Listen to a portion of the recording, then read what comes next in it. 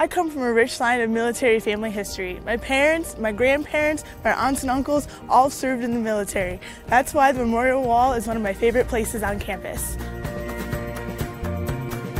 This wall was constructed by a member of the class of 1960. It serves as a reminder to us as cadets of those who have come before us and have given the ultimate sacrifice. This wall serves as a reminder as to why I'm here, why I want to serve, and what sort of officer I plan on being.